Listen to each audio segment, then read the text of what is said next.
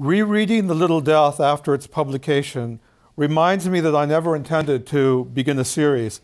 It was meant as a one off, a way to teach myself how to write fiction, and an inversion of the noir fiction of the tough guy writers of the 30s, 40s, and 50s, particularly Raymond Chandler. Chandler loomed large in my mind for a number of reasons. Like countless other readers, I was captivated by his inimitable style, a style as distinctive as William Faulkner's and a lot more fun to read.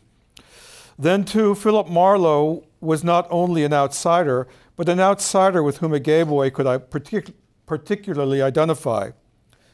Marlowe, for all his tough talk, was an honorable man who embodied the virtues that society purported to honor but rarely displayed loyalty, courage, integrity, and because of his status as a private eye, was the object of society's contempt. Nonetheless, despite their contempt for him, he was the person to whom the gente decente turned to in their times of trouble, and to whom they revealed the squalid secrets that lay beneath the surface of respectable society. This gave him a ringside seat to society's hypocrisies. Gee, I thought, who does that remind me of? Oh, right, me. Like Marlowe, my inner experience of myself as a decent person was wildly at odds with society's characterization of gay men and the contempt in which it held us. This very contempt fueled my determination to be productive, honest, and ethical. I would not give in to society's hatreds of gay men by fulfilling its stereotypes. Then, too, like Marlowe, I was privy to society's hypocrisies, in my case, those affecting sexuality and sexual orientation. Gay men were feared as sexual predators who preyed on the weak, especially children. But as a prosecutor, I knew that the vast majority of sexual predators, child molesters, rapists, were heterosexual men. Gay men were said to hate women, but the battered women who showed up in my courtrooms had been beaten by their husbands and boyfriends. Moreover, it was male misogyny that oppressed women, not my sexual disposition toward other men. Thus, I saw that the private eye in noir fiction could work as a metaphor for the position gay men occupied in straight culture. That's the end of the lecture. now we get to the pulp. so I'm reading from chapter one. I'm going to start at the bottom of page five. Uh, in the classic noir novel, you have the PI sitting in his dank, shadowy office, smoking cigarettes with a bottle of bourbon in the desk drawer, and then an attractive blonde who's inevitably described as having legs up to her neck walks in with an implausible story um, and asks him to take a case uh, that he agrees to because subtextually he wants to fuck her although that's, you know, not, they couldn't really say that in the 30s and 40s, but it's there. So this is my version of that. Uh, my detective is a, a gay Latino criminal defense lawyer named Henry Rios, who, as we meet him in chapter one, has been uh, expelled from felony trials because he had a meltdown during a, uh, a death penalty trial and has been banished to a small uh, public defender's office in a university town that very much resembles Palo Alto. so Rios has shown up at the jail in the morning. His job is to interview uh, people who've been arrested the night before to determine whether uh, they meet the criteria for public defender services and just to get a general idea of um, what the problem, what their crimes were. So uh, he meets the blonde uh, whose name is Hugh Paris. So that's, I think, all the introduction I need. Uh, so he's initially handed by the, um, the sheriff's deputy, whose name is Novak, he's handed um, the arrest report. The suspect's name was Hugh Paris, five foot eight, blonde hair, blue eyes, 26 years old, New York license. He declined to give a local address or answer questions about his employment or his family, no rap sheet, I studied his booking photo. His hair was like a coxcomb. His eyes were dazed, and he was ghostly white. Blonde white boys are not my usual type, but Hugh Paris was beautiful.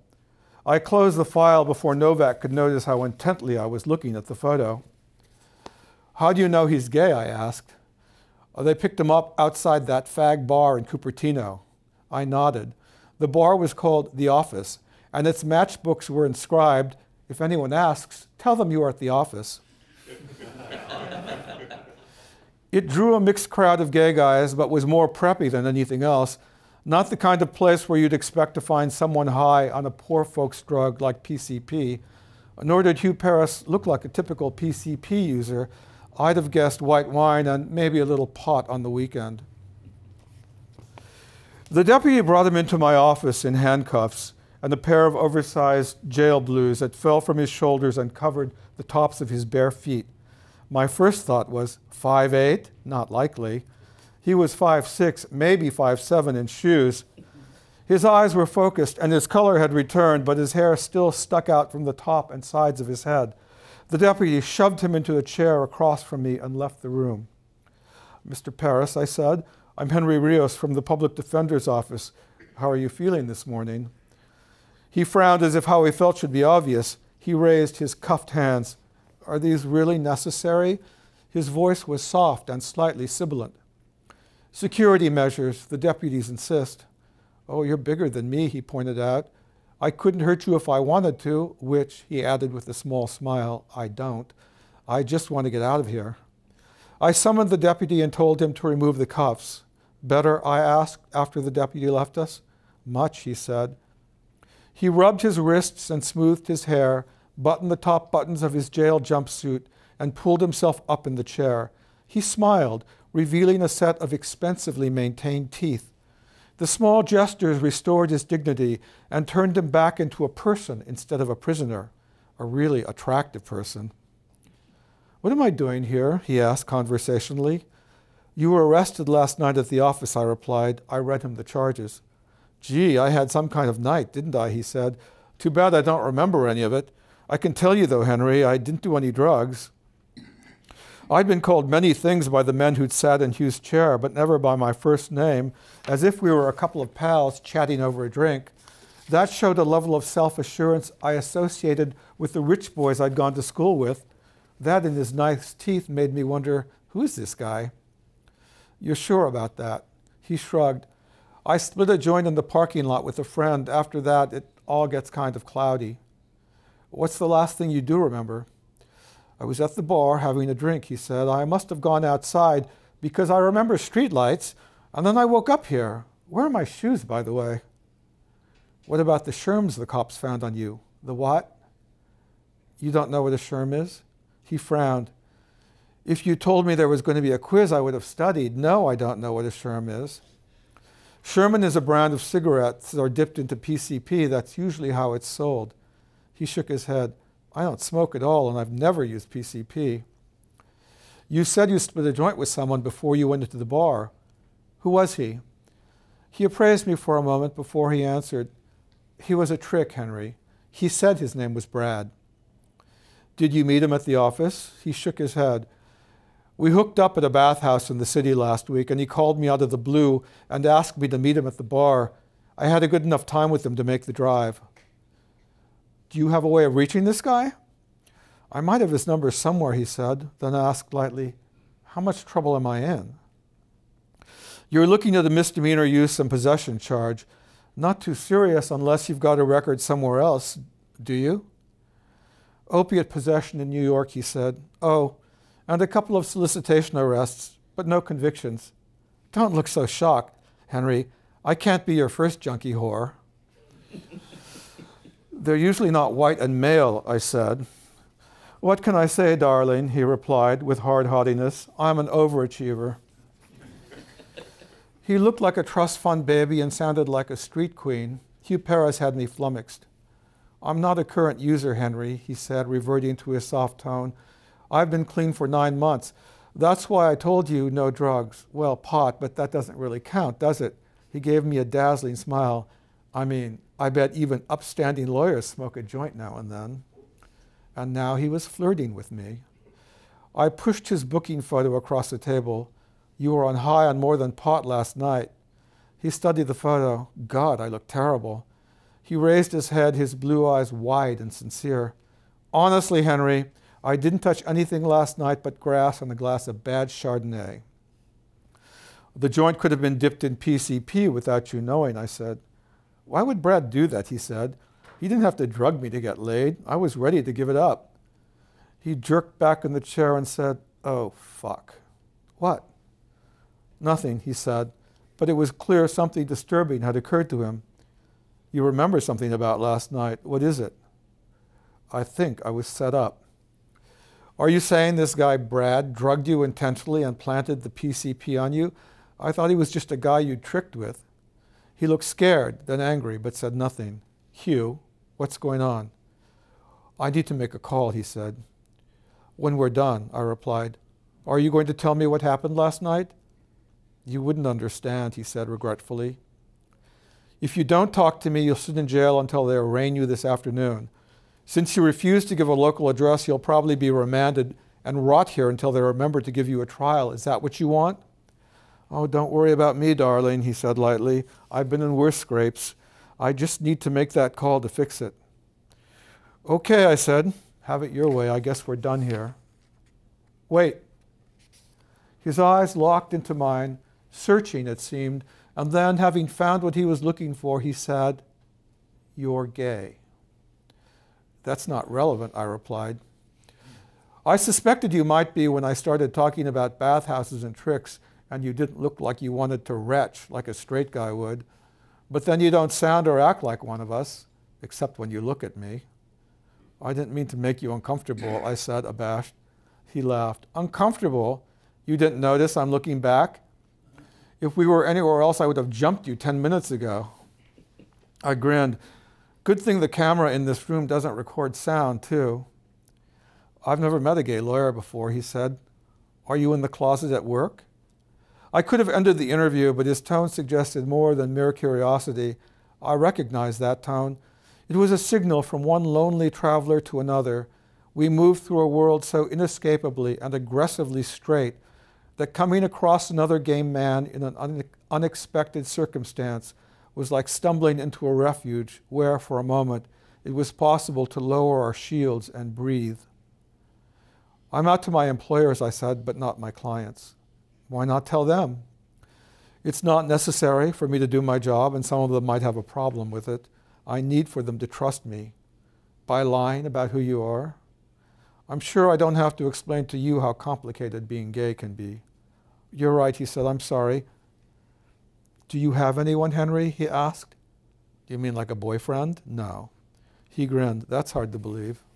My job keeps me busy, I said. It was my automatic response and alone, he said quietly. The words seemed to echo in the little gray walled room. It was just talk, I told myself. He hadn't meant anything much by it. Certainly, he couldn't have known how deeply those words cut at the moment. Do you have anyone, Hugh? He shook his head. God, no. Who'd have me? You're from New York. From here originally, he said. I came back to, care, to take care of some things, family things. I see, I said. I wish you luck. We caught each other's eyes again, and then he said, You think when you come out, your life will be less lonely, but it isn't. You can find guys for sex, that's easy. Sex is how gay guys shake hands. Don't get me wrong, Henry, I'm not knocking sex, but it costs so much to come out, you'd think there'd be something more at the end of it than another guy's dick. My problem is, I never figured out what that something more is to be loved, I suggested. Hugh said, I'm not sure anyone could love me. I've been such a fuck up. I'm trying to put my life back together. I got off junk. That's a start. Until last night, I said. I told you, Henry, that wasn't intentional. I was set up. I'd like to get you out of here if I can. Tell me what happened and let me help you. I appreciate that, he said. I really do. But last night was part of a long, long story. You wouldn't believe me even if I told you. Try me. He shook his head. I wish we hadn't met like this. I took my business card out of my pocket, turned it over, wrote my home phone. Here, call me any time. He took the card, looked at it. For legal advice? For whatever you need, I replied. After that, there was nothing left to say, but neither of us moved or looked away. His lips were slightly parted, a blue vein beat in his pale neck. The hard overhead light picked out darker strands of gold in his pale hair. Something about this soft voiced, mysterious, pretty little man slipped past my defenses and reminded me that desire was the uncomplicated moment when two people look into each other's eyes and each one thinks, Yes, you. I saw the assent in his eyes and I knew he saw it in mine. But we were sitting in a gray room in a jail on opposite sides of a table that separated lawyer from inmate. He had refused the only help I could offer, and now he was on his own. Still, I could not restrain myself from reaching across the table and taking his hand. He was startled, but then he threaded his delicate fingers into mine, and we sat there for a moment, holding hands. You're sweet, he said, tightening his grip. Not usually, I replied. Then I remembered the camera in the corner and Novak sitting in the booking office and let go of him. Last chance, I said. Let me help you, Hugh. You have, he replied.